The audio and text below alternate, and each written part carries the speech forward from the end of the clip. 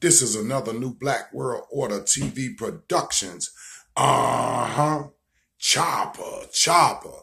Grand Rising family, what's happening? This is part two of Kanye. It's right. Is Kanye really, really, really, really right?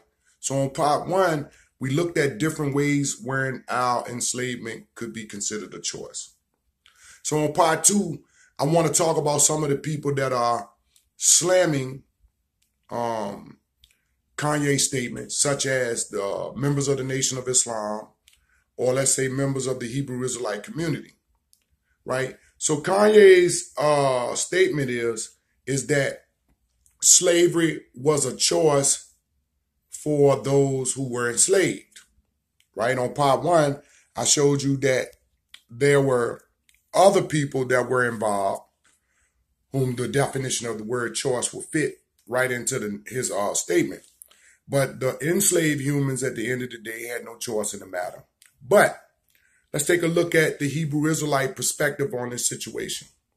Deuteronomy 28 and the Hebrew Israelites' interpretation of Deuteronomy 28 sounds sort of similar to Kanye's statement.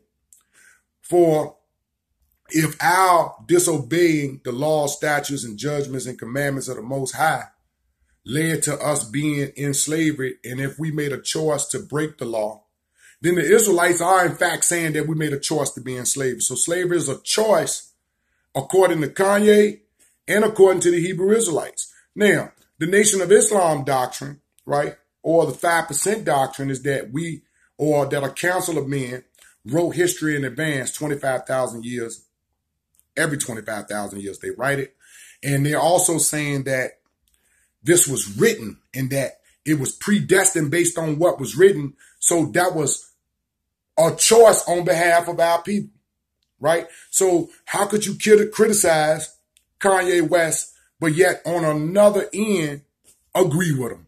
This is cognitive dissonance and Kanye's fuck shit just draws a light on other people fuck shit.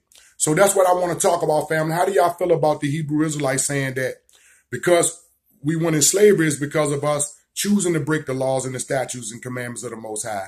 And how does that fit into Kanye West's statement that slavery is a choice? Is Kanye right?